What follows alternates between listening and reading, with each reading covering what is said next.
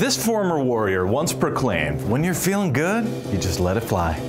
Hey, I'm Michael Callahan, and 40 years ago today, on this forgotten day in 1975, the Warriors were in Chicago to face Jerry Sloan and the Bulls in the Western Conference Finals.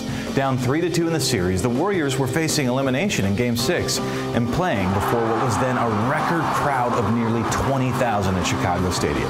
Oh, and the Warriors hadn't won in Chicago all season, but they weren't about to roll over and play dead and let the Bulls run all over them. Trailing by 9 at the end of the first, Rick Barry nailed a 22 footer at the buzzer to close the gap to 7. And perhaps more importantly, swing the momentum back to the Warriors. Now, in the second, the Warriors D took over, and at halftime, the Warriors were on top 46 to 38, led by Barry's five steals and 20 first half points. Barry would go on to score 36, and the Warriors easily avoided elimination by a score of 86 to 72.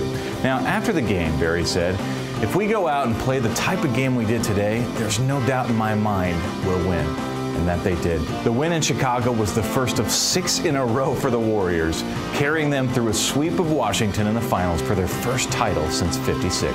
All right, it's been 40 years since the Warriors last won an NBA title. It seems like a pretty good reason to win another one this year. You with me?